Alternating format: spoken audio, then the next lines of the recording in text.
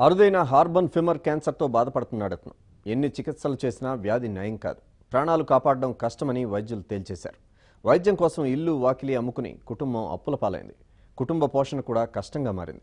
ఇటువంటి పరిస్థితుల్లో దాతలు ముందుకొచ్చి ఆర్థిక సాయం అందిస్తే తమ కుటుంబాన్ని ఆదుకున్న వారవుతారని వేడుకుంటున్నారు. భద్రాచలానికి చెందిన మామిడాల రవి కుటుంబం దీనగాథపై ఏబిఎన్ ప్రత్యేక కథనం.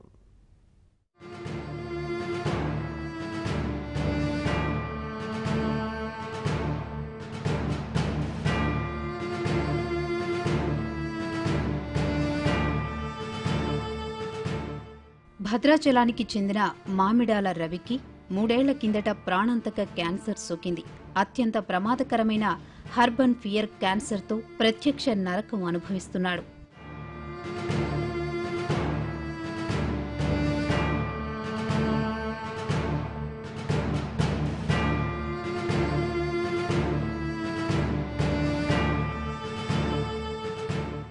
కొబ్బరికాయ సైజులో ఉన్న కణితితో మరణావస్థ పడుతున్నాడు. తలకు అతుక్కుని ఆరు కిలోల బరువైన కణితితో చిత్రహింస అనుభవిస్తున్నాడు. ఎక్కడా నిమిషం పాటు కూర్చోలేడు నుంచోలేడు.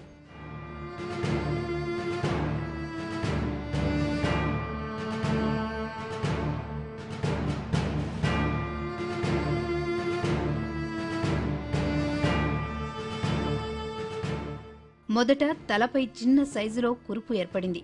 నెలలు గడిచిన కొద్దీ తల అంతా వ్యాపించి ప్రస్తుతం ఆరు కిలోల కణితిలా మారింది. కణితి కారణంగా మెడపై అధిక బరువు పడడంతో రవి మంచానికే పరిమితమయ్యాడు. వ్యాధి సోకిన తొలినాళ్ళలో వరంగల్లోని ఓ ప్రముఖ ఆసుపత్రిలో రవికి కుటుంబ సభ్యులు శస్త్రచికిత్స చేయించారు. ఆపరేషన్ జరిగినా వ్యాధి నయం కాలేదు.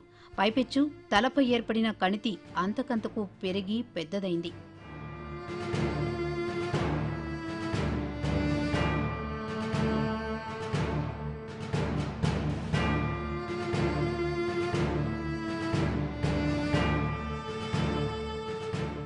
వరంగల్లో చికిత్స అనంతరం ఎటువంటి మార్పు కనిపించకపోవడంతో కుటుంబ సభ్యులు అతన్ని ఖమ్మంలోని మమత ఆసుపత్రికి తీసుకెళ్ళారు.